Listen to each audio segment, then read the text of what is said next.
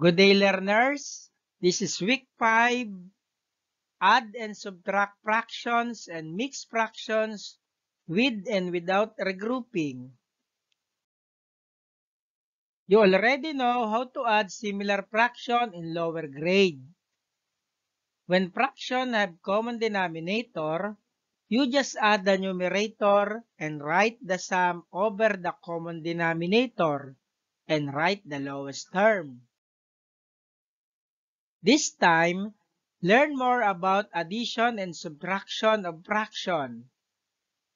In this lesson, you are expected to add and subtract fractions and mix fractions with and without regrouping. There is an activity which will give you a review of this new lesson. Learning Task 1 Add or subtract the following fractions. 2, then numerators 4 plus 6 equals 10, then copy the common denominator 18. In lowest term, this is 2 and 5 over 9. Letter B. 8 minus 0, of course 8. 6 minus 3 equals 3. Then copy the common denominator 9. In lowest term, that is 8 and 1 third. Letter C. 7 eighths minus 3 eighths. 7 minus 3 equals 4. Copy the common denominator 8 and that is 1 half in lowest term. Letter D. Rename first 9. It becomes 8 and 6 over 6 minus 3 and 5, 6. 8 minus 3 equals 5. 6 minus 5 equals 1. Then copy the common denominator, 6.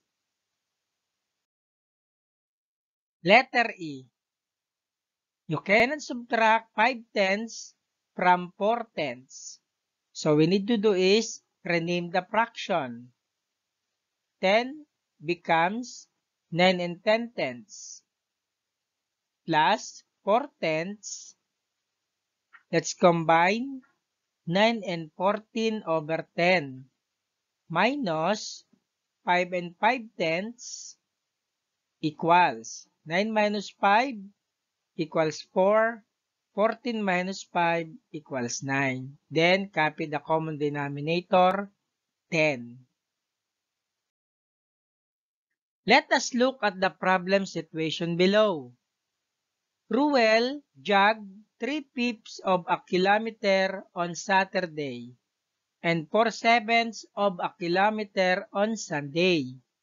How far did jog together in two days? Solution. The fraction 3 fifths and 4 sevenths are the similar fraction. To find the total distance he jogged, we add 3 fifths and 4 sevenths. Find the LCD of 5 and 7. Multiples of 5 and multiples of 7. The LCD is 35. Next, rename the fraction. 35 divided by 5 equals 7. 7 times 3 equals 21. 35 divided by 7 equals 5 times 4 equals 20. Let's add 21 plus 20 equals 41 over 35. In simplest form, that is 1 and 6 over 35. Therefore, Ruel jogged 1 and 6 over 35 kilometers in all. Another example, find the difference of 9 and 1 8 and 3 and 5 6 First, find the LCD of 8 and 6. multiples of 8, and multiples of 6. The LCD is 24.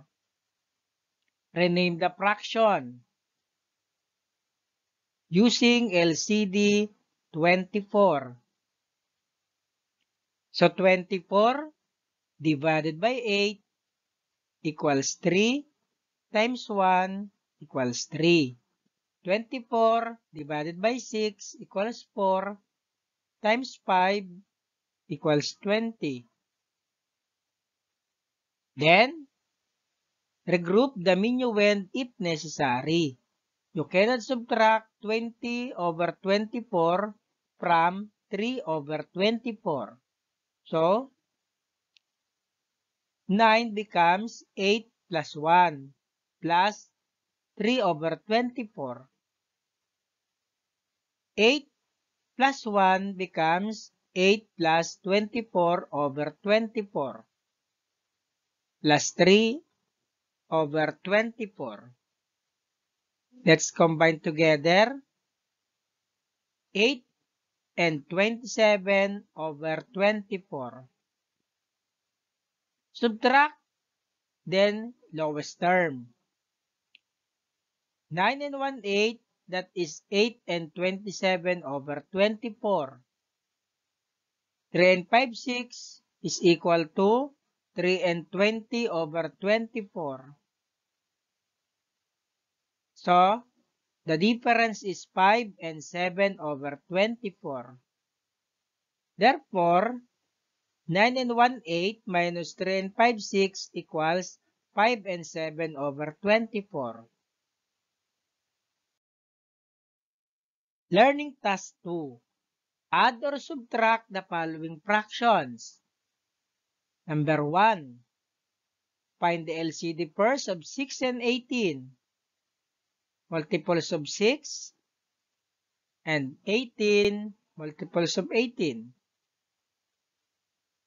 The LCD is 18.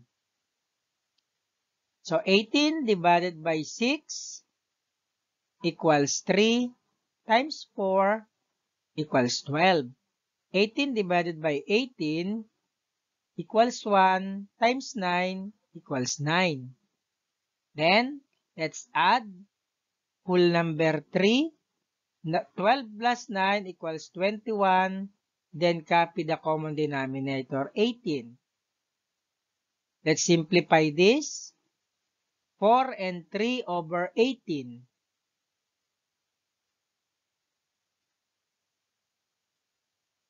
In lowest term, this is 4 and 1 6.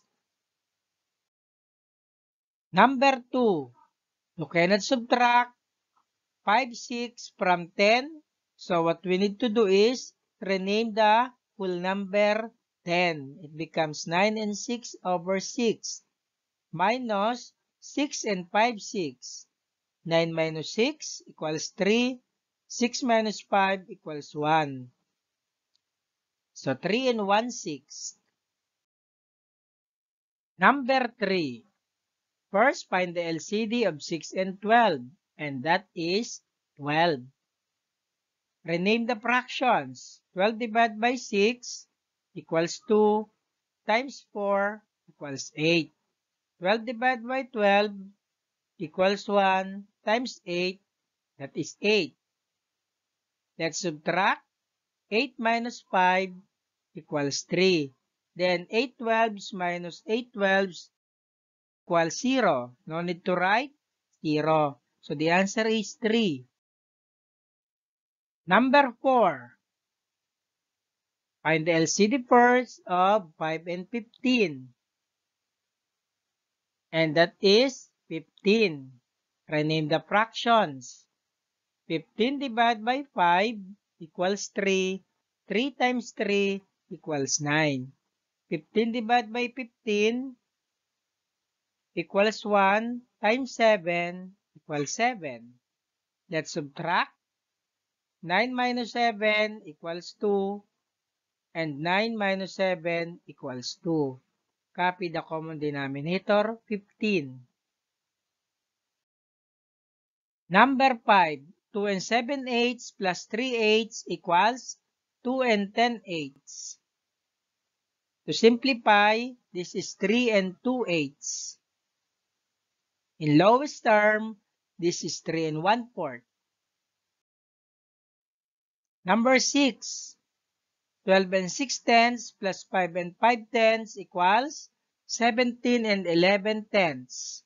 Simplify, 18 and 1 tenth. To add and subtract similar fraction, simply add or subtract the numerator and copy the denominator.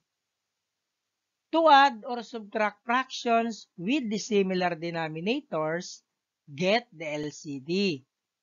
Change the fraction to similar fractions or equivalent fractions using the LCD. Then add or subtract the equivalent fractions. To subtract mixed forms with the similar fractions, make the fraction similar. If the fraction in the minuend is less than the fraction in the subtrahend, rename the minuend as a mixed form with a fraction greater than 1. Learning Task 3. Subtract the following fractions. Number 1. First, find the LCD of 12 and 10. And that is 60. Rename the fractions. 60 divided by 12 equals 5 times 4 equals 20. 60 divided by 10 equals 6 times 5 equals 30. You cannot subtract 30 over 60 from 20 over 60. Rename the fractions. So it becomes 5 and 60 over 60 plus 20 over 60. So it becomes 5 and 80 over 60. Then subtract 30 over 60 and that is 5 and 50 over 60. To simplify, this is 5 and 5 6. Number 2. First, rename 11. And that is 10 and 8 over 8 minus 6 and 5 eighths equals 4 and 3 eighths. Number 3. Find first the LCD of 10 and 12, multiples of 10, multiples of 12. And the LCD is 60. Rename the fractions. 60 divided by 10 equals 6 times 6 equals 36. 60 divided by 12 equals 5 times 7 equals 35. Let's subtract. And that is 4 and 1 over 60. Number 4. First, find the LCD of 25 and 15. And that is 75. Rename the fractions or find the equivalent fractions. 75 divided by 25 equals 3. 3 times 3 equals 9. 75 divided by 15 equals 5 times 4 equals 20. You cannot subtract 20 from 9, so rename or find the equivalent fractions of 7 and 9 over 75. So 7 becomes 6 and 75 over 75 plus 9 over 75. Let's combine. It becomes 6 and 84 over 75. Then, let's proceed to subtraction. Minus 6 and 20 over 75. It becomes 64 over 75. Number 5. First, find the LCD of 9 and 15. And that is 45. Find the equivalent fractions. 45 divided by 9 equals 5 times 7 equals 35. 45 divided by 15 equals 3 times 3 equals 9. Then let's subtract. And that is 4 and 26 over 45. Number 6. Find the LCD of 25 and 10. Multiples of 25, multiples of 10. And the LCD is 50. Find the equivalent fractions. 50 divided by 25 equals 2. 2 times 6 equals 12. 50 divided by 10 equals 5 times 5 equals 25. You cannot subtract 25 from 12. So rename 15 becomes 14 and 50 over 50. Then add this 12 over 50, it becomes 14 and 62 over 50. Now let's subtract 11 and 25 over 50. So the difference is 3 and 37 over 50.